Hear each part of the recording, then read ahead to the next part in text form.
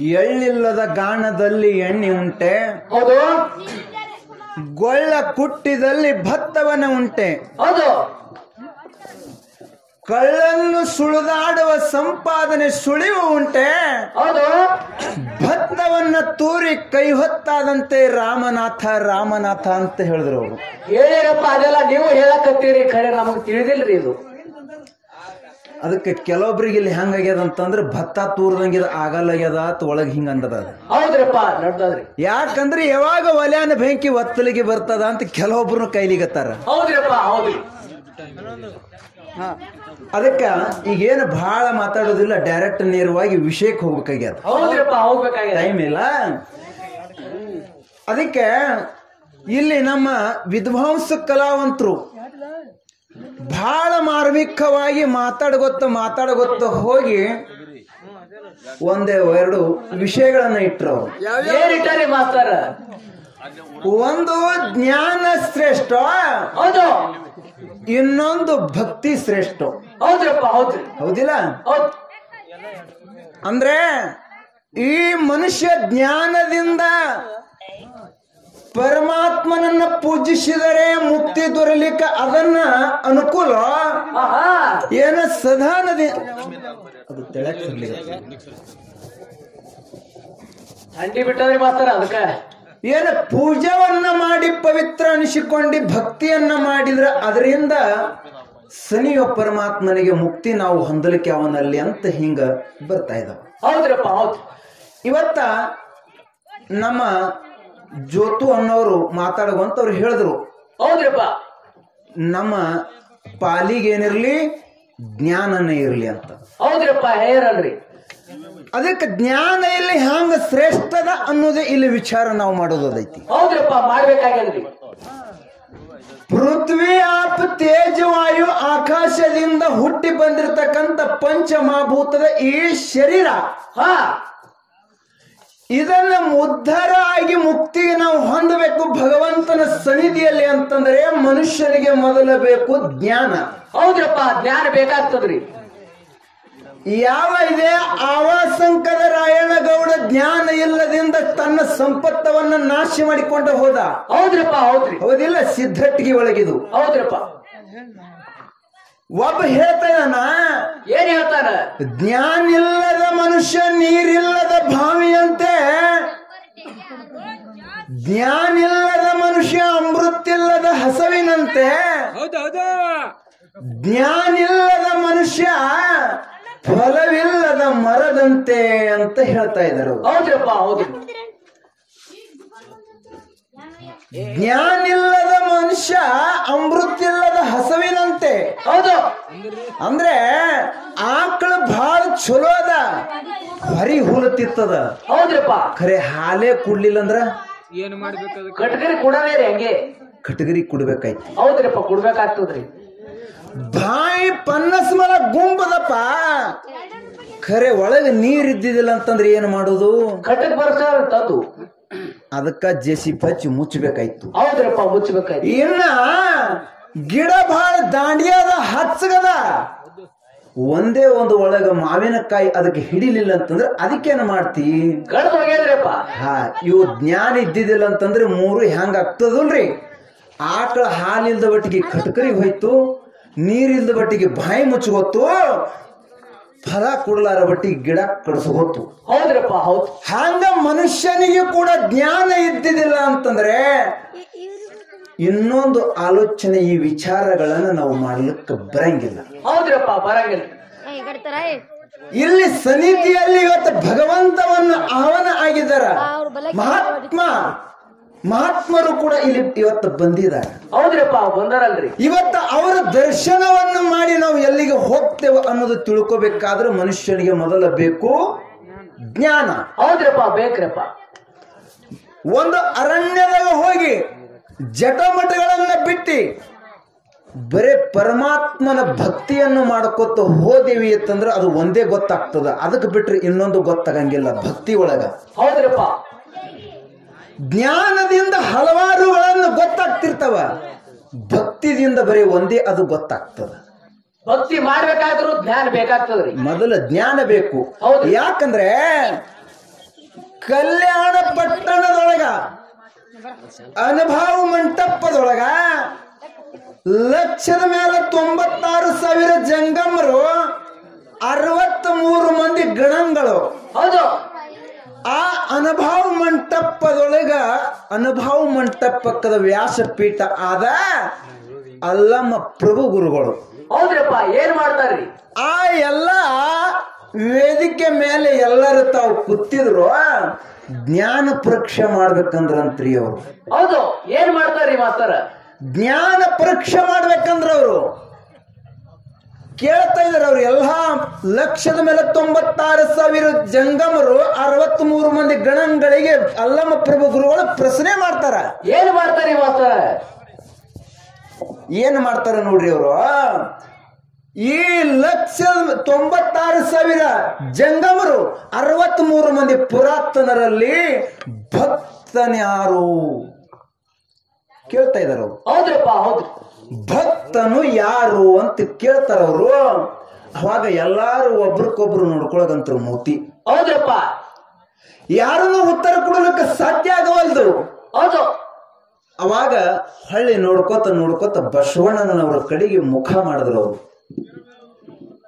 ಬಸವಣ್ಣ ಅಂತ ಕೆಂದ್ರು. ಅವಾಗ ಬಸವಣ್ಣ ಅಂತನ ಗುರುವೇ ಉತ್ತರ ನಾ ಕೊಡ್ತೀನಿ ಅಂದ್ರು ಅವ್ರು. ಬಸವಣ್ಣ ಬಸವಣ್ಣನವರು ಹೇಳ್ತಾ ಇದಾರ ಏನ್ ಹೇಳ್ತಾರೆ ಮಾಸ್ತರ ಲಕ್ಷದ ಮೇಲೆ ತೊಂಬತ್ತಾರು ಸಾವಿರ ಜಂಗಮ್ಮರ ಅರವತ್ತ್ ಮೂರು ಮಂದಿ ಗಣಗಳೆಲ್ಲ. ಇವರೆಲ್ಲರಲ್ಲಿ ಭಕ್ತನು ನಾವು ಒಬ್ಬನೇ ಅಂದಿವ. ಉಳ್ದವರೆಲ್ಲ ಹಾಡಕ್ ಬಂದರತ್ತೀರಿ? ಇದು ಸಿಟ್ಟು ಬಂದು ಬಿಡ್ತೀನಿ ಅಂದಾಪಲೇನೆ ಎಲ್ಲರಿಗೆ. ಹೌದ್ರಪ್ಪ. ಅಲ್ಲ ಒಂದು ಒಬ್ಬಿಬ್ಬಿದ್ರೆ ಹೆಸರು ತಗೋಬೇಕಾಗಿತ್ತು. ಹಾ ಒಬ್ಬನೇ ತಗೊಂಡಲ್ಲ. ತಾ ಒಬ್ಬನೇ ಭಕ್ತ ಅದನ ಅಂತನ ಬಸವಣ್ಣ ಉಳಿದವ್ರಿಗೆ ಏನಂತ ತಿಳಿದ? ಹಿಂಗ ಅಂತ ಇದಾರ? ಅವಾಗ ಅಲ್ಲಮ್ಮ ಪ್ರಭು ಕೇಳಿದ್ರು, ಉಳಿದವ್ರಿಗೆ ಏನು ತಿಳಿದಿದೆ ಬಸವಣ್ಣ ಅಂದ್ರು, ಹಿಂಗ ಹೆಂಗ ಸಾಧ್ಯ ಅಂದ್ರು ಅವರು? ಹೌದು. ಅವಾಗ ಹೇಳ್ತಾನ ಬಸವಣ್ಣ ಪ್ರಭು ಏನ್ ಹೇಳ್ತಾನ್ರಿ? ಲಕ್ಷದ ಮೇಲೆ ತೊಂಬತ್ತಾರು ಸಾವಿರ ಜಂಗಮ ಅರವತ್ತು ಮೂರು ಮಂದಿ ಪುರಾತನರೆಲ್ಲರೂ. ಅವರೆಲ್ಲರೂ ನನ್ನ ಪಾಲಿನ ದೇವರ ಸ್ವರೂಪಿಗಳು ನಾವು ಒಬ್ಬನೇ ಭಕ್ತ ಅಂದವ. ಹೌದ್ರಪ್ಪ ಹೌದು. ಅಂದ್ರೆ ಜ್ಞಾನ ಮನುಷ್ಯನಿಗೆ ಇದನ್ನ ಹಿಂಗ ತಿಳಿಸಿಕೊಡ್ತದ ತಿಳಿಸಿ- ಜ್ಞಾನ ತಿಳಿಸಿಕೊಡ್ತದ. ಭಕ್ತಿ ತಿಳಿಸಿಕೊಡ್ಲಕ್ಕ ಸಾಧ್ಯ ಇಲ್ಲ. ಅದು ಒಂದೇ ಮಾಡ್ತದ. ಜ್ಞಾನ ಹಲವಾರು ಹಲವಾರು ವಿಚಾರಗಳನ್ನ ಮಾಡಿಸ್ತದ. ಭಕ್ತಿ ಹಂಗ ಮಾಡ್ಲಕ್ಕ ಹಚ್ಚಂಗಿಲ್ಲ. ಅದಕ್ಕೆ ಇನ್ನೊಂದು ಮಾತು ಹೇಳುತ್ತ ಮನುಷ್ಯರಿಗೆ. ಮನುಷ್ಯರಿಗೆ ಹಂಗಂತ ಕೇಳಿದ್ರ? ಆ, ಜ್ಞಾನ ಇದ್ದಿದಿಲ್ಲ ಅಂತಂದ್ರೆ ಹೆಂಗಾಗ್ತದ ಮನುಷ್ಯನಿಗೆ? ಕಾಸಿಗೆ ಹೊಂಟಿದ್ದ ಯಾರು? ಶೇಡ್ಜಿ ಹೌದು. ಕಾಸಿಗೆ ಹೊಂಟಿದ ಶೇಡ್ಜಿ ದಾರಿ ಒಳಗ ಚಪ್ಪಲ ಕಡಿತು. ದಾರಿ ಒಳಗ ಚಪ್ಪಲ ಕಡಿತು. ಸೂರದಾಸ ಸಮಗರ ಚಪ್ಪಲ ಹೊಲಿತಿದ್ದ. ಇವ ಆ ಚಪ್ಪಲ ತಗೊಂಡು ಆ ಸೂರದಾಸನ ಕಡೆಗೆ ಹೋದ. ಹೌದು. ಹೋದ. ಅವಾಗ ಅಂತಾನ ಪಾತ್ರ ಚಪ್ಪಲ್ ಹೊಲದು ಕೊಡು ಅಂತ ಹೌದು. ಅವಾಗ ಯಾಕಾಗಲ್ದಕ್ಕಂತ ಹೇಳಿ ಆ ಸೂರದಾಸ ಚಪ್ಪಲ ಹೊಲ್ದ. ತಗೋ ಇವು ಐದು ರೂಪಾಯಿ ಅಂದಿವ ಶಿರ್ಜಿ. ನೇಮನೆ ಐದು ರೂಪಾಯಿ ತಗೋ. ಅವ ಅಂದ ಎಲ್ಲಿಗೆ ನಡೆದಿದಿ? ನಾ ಕಾಶಿಗೆ ನಡೆದಿದ್ದ. ಏ ಕಾಶಿ ಹೊಂಟಿ ಅಂದ್ರೆ ನಿನ್ನ ದುಡ್ಡು ಬೇಡ ಹೌದು. ಖರೆ ನಾವೊಂದು ಕೆಲಸ ಹೇಳ್ತಾ ಅದು ಮಾಡಂದವ. ಹೌದ್ರಪ್ಪ ಹೌದು. ಏನತ್ತ ಕೇಳ್ದ? ನಾವೊಂದಿಟ್ಟು ತಾಂಬೂರು ಕೊಡ್ತಾ? ಆ ಗಂಗಾ ಮಾತಿ ಒಳಗ ಮುಟ್ಟು ಶಿವ ಅಂತ ಹೇಳ್ದ. ಹೌದ್ರಪ್ಪ ಏನ್ ಮಾಡ್ತಾನ್ರಿ ಮುಂದ? ಅವಾಗ ಯಾಕಾಗಲ್ಲ ಅಂತ ಹೇಳಿ ಆ ಬಡವ ಸೂರದಾಸ ಕೊಟ್ಟಿರ್ತಕ್ಕಂಥ ತಾಂಬೂರು ತಗೊಂಡು ಕಾಶಿ ಹೊಂಟ ಯಾರು? ಶಿಡ್ಜಿ ನಾವು ಆ ಕಡೆ ಹೋಗಲ್ರಿ ಕಾಸ್ಕೊಳಕ ಇರ್ಲಿ ಅದನ್ನು ಬೇಕೇ ಅಲ್ಲ ಇರ್ಲಿ. ಹೌದ್ರಿ ಇಲ್ಲ ಥಂಡಿ ಬಿಡಾಕ ಅದಕ್ಕೆ ಕಾಶಿಗೆ ಬಂದ. ಕಾಶಿ ಒಳಗ ಸ್ನಾನ ಮಾಡ್ದ. ವಿಶ್ವನಾಥನಲ್ಲಿ ದರ್ಶನ ಮಾಡ್ದ. ಮಾಡಿ ಆ ಬಡವ ಸೂರದಾಸ ಕೊಟ್ಟಿರ್ತಕ್ಕಂಥ ತಾಂಬೂರ ತಗೊಂಡು ಒಯ್ದ ಆ ನೀರಿನೊಳಗ ಬಿಡುವಂತ ಸಮಯದಲ್ಲಿ ಏನಾಗ್ತದ್ರಿ ಮಾಸ್ತರ? ಕೈ ತುಂಬ ಹಸಿರು ಬಳ್ಳಿ ಉಟ್ಕೊಂಡು ಒಬ್ಬಕ್ಕೆ ಹೆಣಮಗಳು ಬಂದು ಆ ತಾಂಬೂರ್ ಹಿಂಗ ಹಿಡ್ಕೊಂಡು ನೀರಾಗ ತಗೊಂಡು ಹೋದಳು ಹೌದು. ಅವಾಗ ಇವ ಶೆಡ್ಜಿ ಅಂತಾನ ಎಂತ ವಿಚಿತ್ರ ಮಾತ. ಯಾವ ಕೇಳೋ ಹೆಣ್ಮಗಳು ಏನೋ ಗೊತ್ತಿಲ್ಲ. ಆದ್ರೆ ಹಿಂಗ ಕೈ ತುಂಬ ಹಸಿರು ಬಳಿ ಉಟ್ಕೊಂಡು ತಾ ಆ ತಾಂಬೂರು ತಗೊಂಡು ಹಿಂಗ ಒಳಗೆ ತಗೊಂಡು ಹೋಗ್ಯಾಳ. ಇದು ಎಂತ ಮಾತಂತ ಅನ್ಕೋತ ಅಲ್ಲೇ ನಿಂತಿದ್ದ. ಅವಾಗ ಅಲ್ಲೇ ನಿಂತಿದ್ದ. ಮತ್ತೊಂದು ಕೈ ತುಂಬ ಹಸಿರು ಬಳಿ ಉಟ್ಕೊಂಡು ಕೈ ಮತ್ತೊಂದು ಬತ್ರಿ ಮ್ಯಾಲ. ಹೌದ್ರಪ್ಪ. ಅದು ಏನು ತಗೊಂಡು ಬತ್ತು? ಏನ್ ತಗೊಂಡು ಬತ್ರಿ ಮಾಸ್ತರ್? ಇಪ್ಪತ್ತೈದು ತೊಲಿದೊಂದು ಬಂಗಾರದ ಬಳಿ ತಗೊಂಡು ಮ್ಯಾಗ ಬತ್ತು ಕೈ. ಹೌದು. ಬಂಗಾರದ ಬಳಿ ತಗೊಂಡು ಮ್ಯಾಗ ಬಂತು ಆಕಾಶವಾಣಿ ಆಯ್ತು. ಏನಾಯ್ತ್ರಿ ಅಪ್ಪ ಬಡವ ಸೂರದಾಸು ಒಯ್ದಿದು ಕುಡು ಅಂತ ಹೇಳಿ ಆಕಾಶವಾಣಿ ಆಯ್ತು ಅಲ್ಲಿ. ಮುಂದೆ ಏನಾಗ್ತದ್ರಿ ಮಾಸ್ತರ? ಅವಾಗ ಯಾಕಾಗಲ್ದಕ್ಕಂತ ಹೇಳಿ ನಮಸ್ಕಾರ ಮಾಡಿ ಆ ಬಳಿ ಕಿಶದಾಗ ಹಾಕೊಂಡು ದಾರಿ ಹಿಡ್ದ ಖರೆ ಮನಸ್ಸು ಚಂಚಲಾಗತ್ತು ಹೌದ್ರಪ್ಪ ಮನಸ್ ಬದಲಾಗಕತ್ರಿ. ಮನಸ್ಸು ಚಂಚಲಾಗತ್ತು ಆ ಸೂರ್ಯದಾಸಗ ಕೊಡಬಾರ್ದು ನನ್ನ ಮನೆಗೆ ಒಯ್ಬೇಕಂತ ಹೇಳಿ ತನ್ನ ಮನೆಗೆ ತಗೊಂಡು ಬಂದ. ತನ್ನ ಮನೆಗೆ ತಗೊಂಡು ಬಂದು ತನ್ನ ಮಡದಿಗೆ ಹೇಳ್ತಾನ ಏನ್ ಹೇಳ್ತಾನ್ರಿಪ್ಪ? ನೋಡ ನಾ ಕಾಸಿಗೆ ಹೋಗಿದ್ದ. ಒಂದು ಇಪ್ಪತ್ತೈದು ತೊಲಿದೊಂದು ಬಂಗಾರದ ಬಳಿ ತಗೊಂಡು ಬಂದಿದ್ದ. ಹೌದ್ರಿಪ್ಪ. ಅದು ನಿನ್ನ ಕೈಗೆ ಬರ್ತದ ಅಥವಾ ಇಲ್ಲ ನೋಡು ಅಂತ ಹೇಳಿ ಆ ಹೆಂಡತಿ ಕೈ ಒಳಗ ಕೊಟ್ಟತ್ರಿ. ಹೌದ್ರಿಪ್ಪ ಹೌದು. ಅವಾಗ ಹೆಂಡತಿ ಶಾಣೆ ಇದ್ಳು ಆಕೆ ಅಂದಳು ನೋಡ್ರಿ ಇದು ಇಪ್ಪತ್ತೈದು ತೊಲಿ ಬಂಗಾರದ ಬಳಿ ಅದ. ಹೌದು. ನಮ್ದು ಬಡತನದ ಇದು ನಾವು ಉಟ್ಕೊಳ್ಳದ ಉಟ್ಕೊಳ್ಳುವಂತ ಬಳಿ ಅಲ್ಲ. ಹೌದ್ರಪ್ಪ ಅಲ್ರಿಪ್ಪ ಇಲ್ಲಿ ನಮ್ಮ ಊರೊಳಗೆ ಒಂದು ರಾಜವಾಡಿ ಅದ. ಆ ರಾಜವಾಡ್ಯದೊಳಗ ಮಾರಿ ದುಡ್ಡು ತಗೊಂಡು ಬರ್ರಿ ನಮ್ಮ ಪ್ರಪಂಚ ಶುದ್ಧಾಗಿ ನಡೀತದ ಅಂತ ಹೆಣತಿ ಹೇಳುದು ಹೌದ್ರಪ್ಪ ಮುಂದೆ ಏನ್ ಮಾಡ್ತಾನ್ರಿಪ್ಪ? ಅವಾಗ ಯಾಕಾಗಲ್ದಕ್ಕಂತ ಹೇಳಿ ಆ ಬಳಿ ತಗೊಂಡು ಎಲ್ಲಿ ರಾಜನ ಮನೆಗೆ ಹೋದ್ರಿ ಇವ. ಹೌದ್. ರಾಜವಾಡ್ಯಕ್ಕೆ ಹೋದ ರಾಜ ಕುತ್ತಿದ್ದ. ಅವಾಗ ಇವ ಹೋಗಿ ಅಂತಾನ ಇಪ್ಪ ನಂದೊಂದು ಬಡತನದಾಗ ಇದೊಂದು ಬಳಿ ಮಾರಕ ಬಂದೀನಿ ತಗೋರಿ ಅಂತ. ಹೌದ್ರಪ್ಪ ಅವಾಗ ಆ ರಾಜ ಬಳಿ ಕೈಯಾಗ ಹಿಡಿದು ರಾಣಿ ಒಳದವ ಏ ಇಲ್ಲೊಬ್ಬ ಬಳಿ ಮಾರವ ಬಂದಾನ ನಿನ್ನ ಕೈಗೆ ಒಪ್ತದ ಬಾ ಅಂದವ. ಏನ್ ಕೈಗೆ ಹೋಗ್ತದಂದ್ರೆ ತಗೊಳಾಮಿ. ನೋಡು ಅಂದವ ಅವಾಗ ಆಕಿ ರಾಣಿ ಒಳಗಿಂದ ಬಂದಳು ಆ ಬಳಿಯನ್ನ ಕೈಯಾಗ ಹಾಕೊಂಡಳು. ಖರೆ ಒಂದು ಮಾತು ಹೇಳಿದಳು ಆಕಿ ಏನ್ ಹೇಳಿದ್ರಿ ಮಾಸ್ತರ? ನೋಡ್ರಿ ಬಳಿ ಎಲ್ಲ ಚಲೋ ಅದ.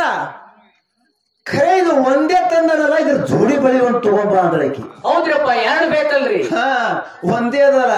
ಇದ್ರ ಜೋಡಿದೊಂದು ತಗೊಂಬ ಅಂತವ ರಾಜ ಅಂದ ಏಯ್ ಎಡ ತೋತಿ ತೋ ದುಡ್ಡ ಇದ್ರ ಜೋಡಿದೊಂದು ತಗೊಂಡ್ ಬಾ ಅಂದವ. ಜೋಡಿದ ತಗೊಂಬ ಒಂದೇ ತೋಣಿ ಕೊಳ ಹಾಕೊಳ್ಳೋದದ ಇವನೇ ಹ್ಯಾಂಗ ತಂದಿದ್ದು ಗೊತ್ತದಲ್ರಿ? ಹೌದ್ರಿಪ್ಪ ಹೌದ್ರಿ ಗೊತ್ತದ್ರಿ. ಜೋಡಿದಲ್ಲಿ ತರ್ಬೇಕು ಮಗ ಇವ ಅವಾಗ ಇವ ರಾಜ ಅಂದ ಎಷ್ಟು ತೋತಿ ತಗೊಂಡ್ ಬಾ ಇನ್ನೊಂದು ಬಳಿ ತಗೊಂಡ್ ಬಾ ಅಂದ. ಇಲ್ರಿ ಇದು ಒಂದೇ ಅದ ಅಂದ. ಮಗನ ಅಂದವ. ಹೌದು. ಮಗನ ಎಲ್ಲಿ ತಂದಿದ್ ಕದ್ದಂದವ ಆ? ಎಲ್ಲಿದ ತಂದಿದ್ದಿ ತುಡುಗು ಮಾಡಿ? ಮೂರು ದಿನ ಟೈಮ್ ಕೊಡ್ತಾ. ಇದ್ರ ಜೋಡಿ ಬಳಿ ತಂದು ಇದು ಕೊಟ್ಟಿ ತಂದ್ರ ನಿನ್ನ ಪ್ರಾಣ ಉಳಿತದ. ಹೌದು. ಇಲ್ಲ ಅಂದ್ರೆ ಗಲ್ಲ ಶಿಕ್ಷೆ ಆಗ್ತದ ಮಗನ ಅಂದವ. ನೀ ಖಲಾಸಿಯ ಮಗನ. ರಾಜ ಇದ್ದವ. ಅವಾಗಿನ್ನ ಅವನ ಅಥಾರಿಟಿ ಸಿಗಲಿ ಇನ್ ಹ್ಯಾಂಗ ಮಾಡ್ಲಿ ಅಂತ ತಿಳ್ಕೊಂಡು ಎಲ್ಲಿ ಆ ಏನು ದಾರಿ ಒಳಗ ಸೂರ್ದಾಸ್ ಇದ್ದಲ್ರಿ ಹೌದ್ರಪ್ಪ. ಅಲ್ಲಿಗೆ ಬಂದಿವ. ಅಲ್ಲಿಗೆ ಬಂದ. ಅಲ್ಲಿಗೆ ಬಂದು ಕೈ ಮುಗಿದು ಅಳ್ಕೋತ ಅಂತಾನ. ನಿನಗ ಮೋಸ ಮಾಡಿ ಒಂದು ಬಳಿ ಒಯ್ದಿದ. ಹೌದು ನಿನಗ ಮೋಸ ಮಾಡಿ ಒಂದು ಬಳಿ ಒಯ್ದಿದ ಆ ಬಳಿ ಕಾಲಾಗ ನನ್ನ ಜೀವ ಹೋಗೋ ಪರಿಸ್ಥಿತಿ ಬಂದದ. ಈಗ ನೀ ಇನ್ನೊಂದು ಬಳಿ ನನಗ ಕೊಟ್ಟಿ ಅಂತಂದ್ರೆ ನನ್ನ ಜೀವ ಉಳಿತದ. ಹೌದು. ಅದಕ್ಕೆ ಏನು ಮಾಡ್ತಿ ಮಾಡು? ಇನ್ನೊಂದು ಬಳಿ ನನಗ ಕೊಡು ಅಂತೇಳಿ ಅಂದೇಳಿಗಿ ಅವಾಗ ಅವ ಸೂರ್ಯದಾಸಿ ಏನಂದ ಆ ಏನೋ ಚಪ್ಪಲ ಹೊಲ್ನೆ ತೊಗಲೆನಕ್ಕೆ ಡೊಣಿ ಇತ್ತಲ್ರಿ. ಆ ಡೊ ಡೊಣಿ ಒಳಗ ಆ ತೊಗಲೆಲ್ಲ ಬಗಟ್ ಮಾಡಿ ಮ್ಯಾಗ ಶಲ್ಯ ಹಾಕಿ ಅಂತಾನ. ಏನ್ ಅಂತಾನ್ರಿಪ್ಪ ಇಲ್ಲಿ ನಿಂದ್ರು ಡೋಣಿ ಬಾಜು. ತಾಯಿ ಇವನ ಪ್ರಾಣ ಹೋಗೋ ಪ್ರಸಂಗ ಬಂದದ. ಇನ್ನೊಂದು ಬಳಿ ಕೊಡು ಅಂದವ. ಶೂರದಾಸ. ಹೌದು. ಅವಾಗ ಅಂದಾಗ ಯಾಕ ಅವಾಗ ತಾ ಅವಾಗ ಹೆಂಗೈತಂದ್ರ ಆ ಏನು ಡೋಣಿ ಒಳಗಿಂದು ಕೈ ತುಂಬ ಹಸಿರು ಬಳಿ ಉಟ್ಕೊಂಡು ಮತ್ತೊಂದು ಇಪ್ಪತ್ತೈದು ತೊಲಿ ಬಂಗಾರ ಬಳಿ ತಗೊಂಡು ಮ್ಯಾಗ ಬರ್ತಂತ್ರಿ ಹೌದ್ರಪ್ಪ ಹೌದ್ರಿ. ಅವ ಅಂದ ತಗೋ ನಿನ್ನ ಪ್ರಾಣ ಉಳಿಸ್ಕೊ ಹೋಗಂದವ. ಅವಾಗ ಯಾಕಾಗಲ್ಲಕಂತ ಹೇಳಿ ಆ ಬಳಿ ತಗೊಂಡು ಎಲ್ಲಿ ರಾಜನ ಮನೆಗೆ ಬಂದ ರಾಜನ ಮ ಹೆಂಡತಿಗೆ ಹಾಕೊಂಡ್ಳು ಒಪ್ಪು ಕೈಯಾಗ. ಅವಾಗ ಒಪ್ಪು ಅವಾಗ ಆ ರಾಣಿ ಅಂತಾಳ ನೋಡ್ರಿ ಅವನಿಗೆ ಯಾಟ ಬಳಿ ಹೇಳಿರಿ ತಂದು ಕೊಟ್ಟಾನ? ಹೌದ್ರಿ ಅವ ಏನು ಬೇಡ್ತಾನ ಬೇಡಿದ ಕೊಟ್ಟ ಬಿಡ್ರಿ ಅವನಿಗೆ ಅಂದಳಕ್ಕಿ ಆ? ಅವ ಏನ್ ಬೇಡ್ತಾನ ಕೊಡ್ರಿ ಅವನ ಮನಸ್ಸಿಗೆ ಸಮಾಧಾನ ಮಾಡಿಬಿಡ್ರಿ ಅಂತ ಈಗ ಅವಾಗ ಏನದ? ಅವ ರಾಜ್ಯ ಅಂತ ನೋಡಪ್ಪ. ಯಾವಾಗ ನಮ್ಮ ಮನಸ್ಸಿಗೆ ಸಮಾಧಾನ ಮಾಡಿ ಆ ಬಳಿ ತಂದು ಕೊಟ್ಟಿದೆ ಅಂದ್ರೆ ನಂದು ಅದ್- ಅರ್ಧ ರಾಜಕೀಯ ಕೊಡ್ತೀನಿ ನನಗಂದ ಹೌದ್ರಪ್ಪ ಅರ್ಧ ರಾಜ್ಯ ತಗೋ. ಅರ್ಧ ರಾಜಕೀಯ ಕೊಡ್ತೀನಿ ಅಂದಾಗ ಅವಾಗ ಇವನಿಗೆ ತಿಳಿದು ಬರ್ತತ್ರಿ. ಏನ್ ತಿಳಿತ್ರಿ ಮಾಸ್ತರ? ಅವಾಗ ಇವನಿಗೆ ತಿಳಿದು ಬಂತು. ನೋಡ ಒಂದೇ ಬಳಿ ಕಾಲಾಗ ನನ್ನ ಜೀವ ಹೋಗೋದಕ್ಕೆ ನಿಂತಿತ್ತು. ಹೌದು. ಜ್ಞಾನ ಇದ್ದಿದ್ದಿಲ್ಲ ಮೊದಲ. ಇಲ್ಲಿ ಜ್ಞಾನ ಶುರು ಆಯ್ತು ಅವನಿಗೆ. ಹೌದ್ರಪ್ಪ ಒಂದು ಬಳಿ ಕಲೆಗೆ ನನ್ನ ಜೀವ ಹೋಗೋ ಪರಿಸ್ಥಿತಿ ಬಂದಿತ್ತು. ಈ ಎರಡೂ ಬಳಿ ಒಯ್ದು ಯಾರಿಗೆ? ಆ ಏನು ಬಳಿ ಕೊಟ್ಟನಲ್ಲ ಆ ಸೂರ್ಯದಶಿಗೆ ಒಯ್ದು ಕೊಡ್ಬೇಕಂತ ಅವಾಗ ವಿಚಾರ ಮಾಡಿ ಈ ಅವಾಗ ಹೇಳ್ತಾನೆ ರಾಜಾಗ ನೋಡ್ರಿ ಈ ಬಳಿ ಕೊಟ್ಟ ಒಬ್ಬ ಪುಣ್ಯಾತ್ಮ ಬ್ಯಾರೇನ ನಾವು ನೀವು ಕೂಡ ಈ ರಾಜಕೀಯ ಒಯ್ದು ಅವನಿಗೆ ಕೂಡ ಅಂದಿವ. ಹೌದ್ರಪ್ಪ. ಅವಾಗ ಅವನಿಗೆ ಕೂಡ ಮತ್ತೆ ಹೇಳಿ ರಾಜಾಗ ಕರ್ಕೊಂಡು ಎಲ್ಲಿ? ಅವನ ಬಲಿ ಬಂದ. ಅವನ ಬಲಿ ಅಂತ ಬಂದಂತಾನ ನೋಡಪ್ಪ, ನೀ ಬಳಿ ಎರಡು ಕೊಟ್ಟಿದಕ್ಕ ಈ ರಾಜರು ಅರ್ಧ ರಾಜಕೀಯ ಕುಡ್ಲಗತ್ತಾರ ಅದು ನಿನಗ ದಕ್ತದ ನೀ ತಗೋ. ಹೌದು. ಅವಾಗ ಅವ ಏನ್ ಅನ್ಬೇಕ್ರಿ? ಸೂರ್ಯದಾಸ್ ಬಡವ, ಏಯ್ ಹುಚ್ಚಿ ಒಳೆ ಅಂದವ. ಹುಚ್ಚಿ ಒಳ್ಯ ಇಂತ ಹತ್ತು ಬಳಿ ಇಂತ ಇಂತ ಹತ್ತು ರಾಜಕೀಯ ಕೂಡ ಅಂತವ್ರು ನನ್ನ ಡೋಣ್ಯಾಗ ಕೂತಾರ ಅದು. ನಿನ್ನ ಬಳಿ ತಗೊಂಡ ನಾ ಏನ್ ಮಾಡದ ಇಬ್ರು ಬಂದಿರಿ ಸುಮ್ ಮಾಡ್ಕೊಂತೀನಿ ಹೋರಿ ಅಂದವ. ಹೌದ್ರಪ್ಪ ಸುಮ್ ಮಾಡ್ಕೊಳ್ತೀನಿ ತಿನ್ನು ಹೋರಿ. ಅದಕ್ಕೆ ಜ್ಞಾನ ಇದ್ದಿದ್ದಿಲ್ಲ ಅಂತಂದ್ರೆ ಮನುಷ್ಯನಿಗೆ ಮರವಿಗೆ ಕೇಳುತ್ತದ ಬಂಧುಗಳೇ. ಮೊದಲು ಏನು ಬೇಕು ಮನುಷ್ಯನಿಗೆ ಅಂತಂದ್ರೆ ಜ್ಞಾನ ಬೇಕು. ಅವಾಗ ಜ್ಞಾನದಿಂದ ಯಾರು ಅಕ್ಕ ಮಾದೇವಿ ಅಂತಾಳ ಏನ್ ಅಂತಲ್ರಿಪ್ಪ ಮನೆ ಮನೆಯನ್ನು ಬೇಡಿ ಉಣ್ಣುವಂತೆ ಮಾಡಯ್ಯ. ಬೇಡಿದರೆ ನೀಡಲಾರದಂತೆ ಮಾಡಯ್ಯ. ಹೌದು. ಯಾರೋ ಒಬ್ರು ನೀಡಿದ್ದರೆ ನೆಲಕ್ಕೆ ಬೀಳುವಂತೆ ಮಾಡಯ್ಯ. ನಾನು ಓಡಿ ಬಂದು ಕಸಿದು ತೋಡು ತಿನ್ನಬೇಕನ್ನೋದ್ರೊಳಗೆ ನಾಯನ್ನು ಕಸಿದುಕೊಂಡು ತಿನ್ನುವಂತೆ ಮಾಡೋ ಚನ್ನ ಮಲ್ಲಿಕಾರ್ಜುನ ಅಂತ. ಹೌದ್ರಪ್ಪ ಹೌದು. ಏನೋ? ನನಗೆ ಮನಿ ಮನಿ ಬೇಡ್ಕೊಂಡು ಉಣ್ಣಂಗ ಮಾಡು ನಾ ಬೇಡದಾಗ ಯಾರು ನೀಡಲಾರ್ದಂಗ ಮಾಡು. ಹೌದು. ಒಂದು ವೇಳೆ ಆ ಮನಿ ಈ ಮನಿ ಈ ಮನಿ ಆ ಮನಿ ತಿರುಗಾಡದಾಗ ಅಯ್ಯೋ ಪಾಪ ಅಂದು ಒಬ್ರು ನೀಡಿದ್ರು ಅಂತಂದ್ರ ಅದು ನೆಲಕ್ಕೆ ಬೀಳಂಗ ಮಾಡು. ಅದು ಹಂಬಲಿಸಿ ಊಟ ಮಾಡ್ಬೇಕಂತ ಹೇಳಿ ಅದನ್ನ ತಗೋಬೇಕ ಅನ್ನೋದ್ರ ಒಳಗ ನಾಯಿ ಓಡಿ ಬಂದು ಕಸಿದುಕೊಂಡು ತಿನ್ನಂಗ ಮಾಡು. ಹಿಂಗಂದ್ರೆ. ಚನ್ನ ಮಲ್ಲಿಕಾರ್ಜುನ ಅಂತ ಹೇಳ್ತಾ ಇದ್ದಾರೆ. ಹೌದ್ರಪ್ಪ ಹೌದು. ಇವರು ಜ್ಞಾನ ಅರ್ಥಕೊಂಡು ಇಂಥ ಮಹಾತ್ಮರು ಅವರು ವಚನಗಳನ್ನ ಮಾಡಿದ್ದಾರೆ ಹ ಅಜ್ಞಾನ ಅಳಿತದ. ಜ್ಞಾನ ಇತ್ತು ಅಂತಂದ್ರೆ ಮನುಷ್ಯನಿಗೆ ಅಜ್ಞಾನ ಅಳದು ಹೋಗ್ತದ ಅಂತ ಹಿಂಗ ಬರ್ತದೆ ಬಂಧುಗಳೇ. ಅದಕ್ಕೆ ಈಗ ಬಹಳ ಮಾತಾಡುವಂತಿದ್ದು ಬೇಡ. ಯಾಕಂದ್ರೆ ನೀನು ಊಟ ಟೈಮ್ ಆಗ್ಯದ. ಇನ್ನ ಸವಿಜೋಡಿ ಕಲಾವಂತರಿಗೆ ಒಂದು ನಾಲ್ಕು ನುಡಿ ಚಾಲ ಹಾಡಿ. ಯಾಕಂದ್ರೆ ಬಹಳ ಮಾತಾಡಗತ್ತೆ ಹೆಂಗಾಗ್ತದೆ ಕೇಳ್ರಿ. ಸಾಲಿ ಬಸ್ನಾಗ ಸಾಲಿ ಹುಡುಗರೇ ಏರಿದ. ಸಾಲಿ ಬಸ್ನಾಗ ಸಾಲಿ ಹುಡುಗರ ಏರ್ಯಾವ? ಕಂಡಕ್ಟರ್ ಟಿಕೆಟ್ ಕೇಳ್ಯಾನ ಅವ್ರಿಗೆ. ಏ ಹುಡುಗರ ಟಿಕೆಟ್ ಟಿಕೆಟ್ ಟಿಕೆಟ್ ಅನ್ಕೋತ ಬಂದವ. ಹುಡುಗರೆಲ್ಲ ಅಂದು ಫಾಸ್ ಫಾಸ್ ಫಾಸ್ ಅಂದು ಹುಡುಗರು. ಪಾಸ್ ಅವ್ರಪ್ಪ ಪಾಸ್ ಅವ್ರಿ ಅಲ್ರಿ ಅವ್ರು. ಅದೇ ಬಸ್ನಾಗ ನಮ್ಮಂತ ಬೇರಿದ್ರಿ. ಹೌದ್ರಪ್ಪ ಅವ ಏನಂತಾನ್ರಿ? ಅವ ಹಿಂಗ ತಿಳ್ಕೊಂಡ ಹುಡುಗರೆಲ್ಲ ಅಲ್ಲಗತ್ತ ಅಂದ್ರೆ ನಾನು ಫಾಶಿ ಅನ್ಬೇಕಂದೀವ. ಹೌದ್ರಪ್ಪ. ಅವ ಏ ನಿನ್ನ ದುಡ್ಡು ತೆಗಿ ಅಂದವ. ನಂದು ಫಾಸಿ ರೀ ಅದೀವ. ನಿಂದ ಯಾವ್ದು ಫಾಸ್ ಹೋದವ. ನಂದು ಟೈಮ್ ಪಾಸ್ ರೀ ಅಂದಿವ. ಹಿಂಗಾಗ್ತದ್ರಿ ಹಾ ಟೈಮ್ ಪಾಸ್ ಬಸ್ನಾಗ ಮಾಡಕ್ ಬರಲ್ಲ ಮಗನ ತೆಳಗ್ ಗಿಡದ ಬಟ್ಟೆ ಕೂತ್ ಮಾಡಿ ಹೋಗಂದವ. ಹೌದ್ರಪ್ಪ ಹೌದ್ರಿ. ಅದಕ್ಕೆ ಬಂಧುಗಳೇ ಏನೋ ಇಚ್ಛಿಕ ಸಂಗೀತ